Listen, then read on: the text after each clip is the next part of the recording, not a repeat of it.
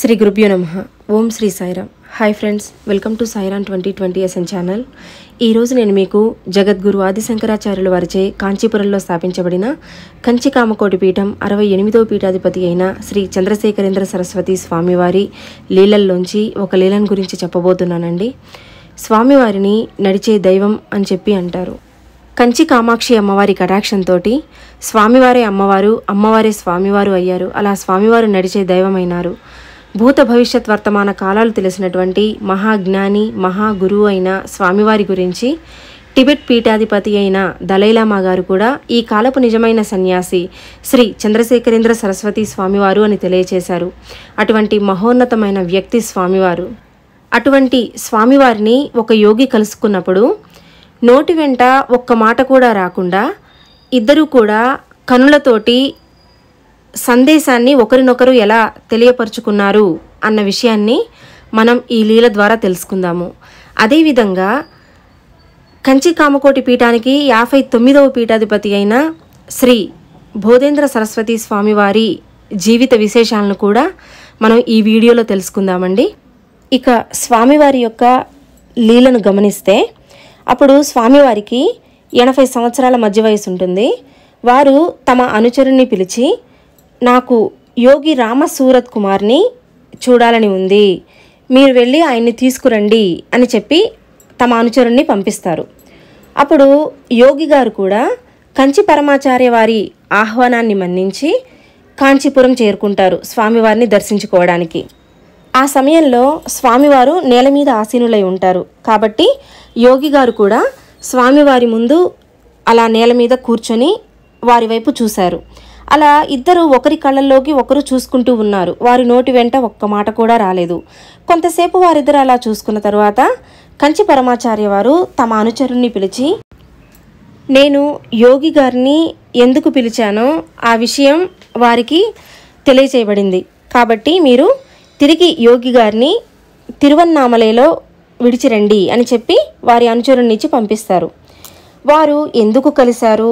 వారు ఒకరినొకరు చూసుకోవడానికా? లేక ఏదైనా విషయాన్ని గురించి మాట్లాడుకోవడానికా? అని అందరూ అనుకున్నారు. ఎందుకంటే వారిద్దరి నోటి వెంట ఒక్క మాట కూడా రాలేదు. తిరిగి యోగి గారు తిరువన్నామలై వెళ్ళిపోయారు. తర్వాత యోగి గారిని మీరిద్దరి నోటి వెంట ఒక్క మాట కూడా రాలేదు. కానీ స్వామివారు వచ్చిన పని అయిపోయింది.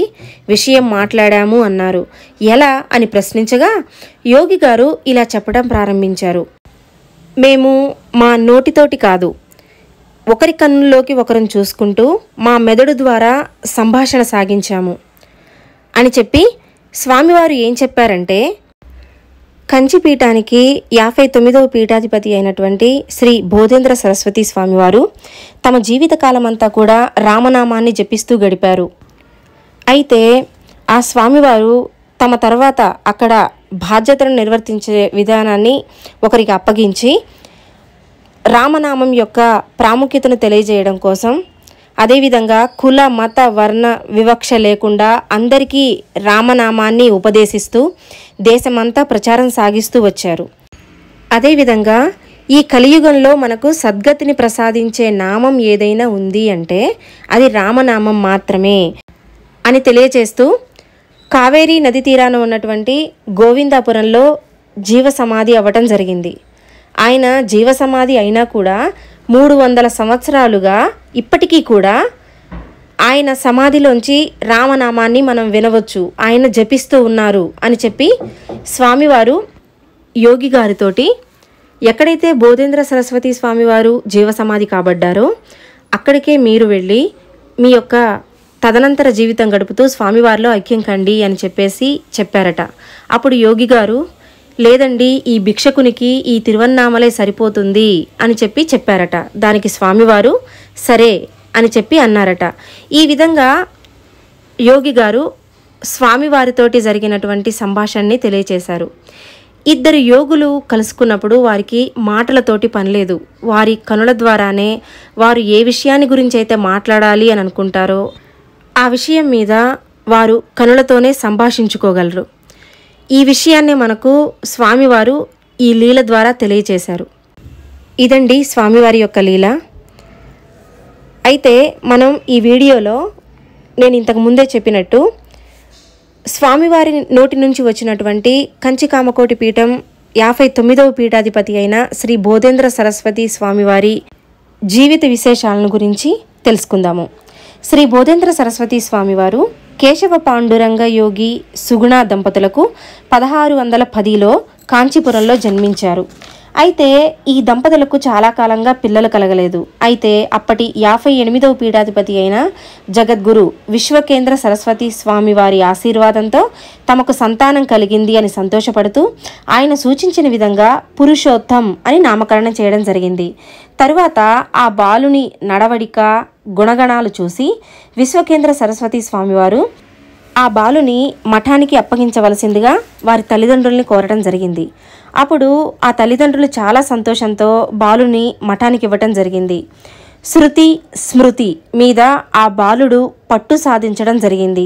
ఈ క్రమంలో అతను నామ సంకీర్తన అనగా రామనామ జపానికి తన జీవితాన్ని అంకితం చేయడం జరిగింది. కలియుగంలో జనన మరణ చక్రాలను దాటించేది రామనామం అని చెప్తూ రోజుకి లక్ష సార్లు రామనామం జపం చేసేవారు. ఈ విధంగా తన గురువైన యాభై ఎనిమిదవ జగద్గురు శ్రీ విశ్వకేంద్ర సరస్వతి స్వామివారి ఆదేశంతో తన జీవిత కాలాన్ని రామనామ జపం చేస్తూ దాని యొక్క ప్రత్యేకతను తెలియచేస్తూ దేశ సంచారం చేస్తూ కావేరీ నది తీరాన ఉన్నటువంటి గోవిందాపురంలో జీవ సమాధి అవ్వటం జరిగింది పదహారు వందల తొంభై రెండవ సంవత్సరంలో. అది కూడా ఒక యోగ స్థితిలో కూర్చుని ఉండగా. అయితే ఆయన ఇప్పటికీ కూడా రామనామ జపం చేస్తూ ఉన్నారు అని చెప్పి స్వామివారు యోగి గారైనటువంటి రామసూరత్ కుమార్ గారికి చెప్పడం జరిగింది. అయితే ఇక్కడ బోధేంద్ర సరస్వతి స్వామివారు స్మృతి శృతి అన్న వాటి మీద పట్టు సాధించడం జరిగింది అని చెప్పి చెప్పాను కదా. అయితే శృతి అంటే మహర్షులు వారి అనుభవం చేత వారు అనుభవించి రాసినటువంటి వేదాలు రామాయణ మహాభారతాలు ఇవన్నీ కూడా వాటిని మనం మార్చడానికి ఉండదు. అయితే స్మృతి అంటే మాత్రము ఈ రామాయణ మహాభారతాలు వీటిని చదివిన తర్వాత వారు వారి యొక్క సొంత విశ్లేషణ చేస్తారు. వాటిని మనం స్మృతి అని చెప్పేసి అని అంటాము. వేదిక్ లెక్చర్ అనమాట వారు వారి బాణిలో వాటి యొక్క విశ్లేషణ చేస్తారు. అదేమో స్మృతి.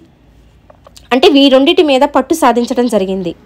ఈ విధంగా బోధేంద్ర సరస్వతి స్వామివారు రామనామం యొక్క ప్రాముఖ్యతను తెలుసుకొని రామనామాన్ని జపిస్తూ ఉపదేశిస్తూ వారి యొక్క జీవితాన్ని తరింపజేసుకోవడం జరిగింది. ఇలా కంచికామకోటి పీఠానికి యాభై తొమ్మిదవ పీఠాధిపతి అయిన శ్రీ బోధేంద్ర సరస్వతి స్వామివారి జీవితానికి సంబంధించినటువంటి కొన్ని విషయాల్ని మనం ఈ వీడియోలో తెలుసుకున్నామండి. ఇదండి స్వామివారి యొక్క లీల. మరొక లీలతోటి మరొక వీడియోలో కలుసుకుందాము. అంతవరకు జై జై శంకర హర హర శంకర. మహర్షుల ద్వారా మనకు తెలిసినటువంటి ధ్యానానికి సంబంధించిన విశేషాలు తెలుసుకోవాలి అని అనుకుంటే యూట్యూబ్లో పిరమిడ్ మెడిటేషన్ ఛానల్ని ఒకసారి విజిట్ చేయండి.